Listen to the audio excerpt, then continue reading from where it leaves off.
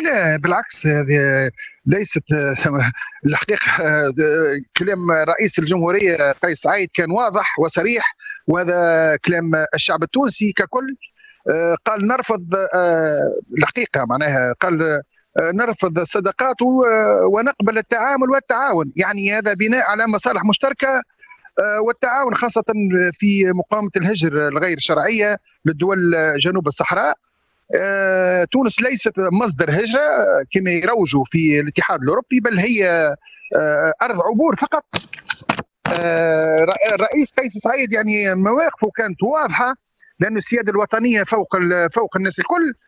بالنسبة للاتحاد الأوروبي ما يعرفوش إنه ثم ربما يعرفوا يعرفوا ويعملوا روحهم إنهم ما يعرفوش مجموعات وافدة من الدول الأفريقية. وهي الحقيقة المجموعات هذه مجموعات إجرامية آه، وراها معناها إجرام خطير تجارة تجاره بالبشر. مواقف تونس آه، ثابتة في هذه المسألة وحسمت فيها يعني الحقيقة آه، معناها نشوفوا في كوارث قاعدة تصير في البحر في البحر الأرضي المتوسط. نعم. ردود السيادة نرجع لك للسيادة الوطنية قيس سعيد. الحقيقة الموقف مشرف جدا. وموقف آه، شرف تونس الكل وشرف حتى الدول العربية وتونس الحقيقة اللي رو اللي قاعد ما يروج بين الظفرين في الاتحاد الأوروبي أنه تونس على وشك إفلاس وتونس على آه، عندها مشاكل اقتصادية ومشاكل سياسية وهو في الحقيقة ما فماش مشاكل. بعض المشاكل كما دول العالم عندها مشاكل اقتصادية وهذا ما ننكروش فيه ولكن مش لا حد نعم. انه تونس على وشك إفلاس وبدليل وبدليل وأنه تونس لحد اليوم خلصت آه، ديون 74% نتاع 2023 والحمد لله لحد اليوم خالصة معناها ديونها الخارجية يعني هذا دليل أنه تونس الحمد لله معناها آه، أزمة تسير وأزمة القمح والخبز في آه، في عديد الدول الإفريقية والعربية وحتى الأوروبية. نشوف في فرنسا شنو صاير في فرنسا اليوم آه، معناها واحد باش ياخذ الخبز يقعد آه، ساعة شاد صف باش يشري باش ياخذ آه، الخبز. يعني عادي. معناها الموقف السياسي في تونس الموقف كان مشرف جدا. وحتى حاليا حاليا أستاذ معز هل تطالب تونس, تونس باتفاق جديد مع الاتحاد الأوروبي؟ ورد الفعل الاتحاد حول ذلك؟ الاتحاد الأوروبي الغاية نتاعو هو يحب يفرض سياسة الاتحاد الأوروبي على تونس. آه لأنه الحقيقة الإسلام السياسي في تونس هو هو المتسبب رقم واحد. آه السنين اللي مرت الكل آه شفت اللي إحنا فيه اليوم هو السبب الرئيسي هو هي حركة النهضة ومشتقات حركة النهضة. 12 عام عملوا لنا مشاكل كبيرة يعني في جميع المجالات.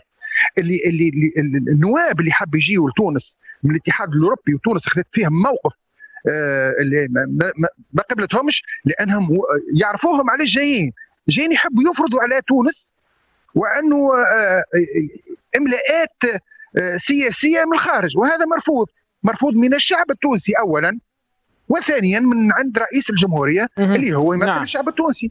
لكن ألن يكون البديل خطيرا في حال رفض أو عدم الاتفاق مع التكتل الأوروبي؟ يا أخي أخي الكريم ما فما حتى حاجة خطر علينا الخطر هو بدينا هذه الهجرة غير آه، الشرعية آه المستمرة أستاذ معز. الهجره الهجرة غير الشرعيه في تونس صعيبه باش باش تنجح لأنه آه أنا قلت لك تونس آه، منطقة عبور مش معناها عادي هذا كل يوم يصير في أغلبية الدول. تونس ماخذة موقف لا نقاش فيه. وهم الاتحاد الأوروبي يحبوا يحبوا يفرضوا على تونس اولا آه يعني يفرض علينا املاءات املاءات وهذا نرجع بالطبيعه ديما نقولها وباش نعاودها اليوم وأنه إسرائيل عندها دور في هذا. إسرائيل آه، عن طريق دول أوروبية تحب تفرض املاءاتها مش direct بالطبيعة.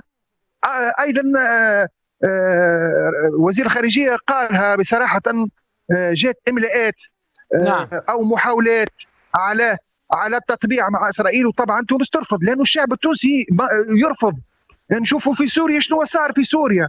واليوم الحمد لله رجعت العلاقات مع سوريا وسفير سفير سوريا وتونس إن شاء الله معناها. يعني يعني الحقيقة شكون متسبب هذا؟ هي إسرائيل. لا نقاش فيه هذا هذا لا نقاش فيه. وبقيادة أمريكا. إحنا نستناو في في قرض توا من 2018 لليوم ب 1900 مليون دولار. معناها نعم.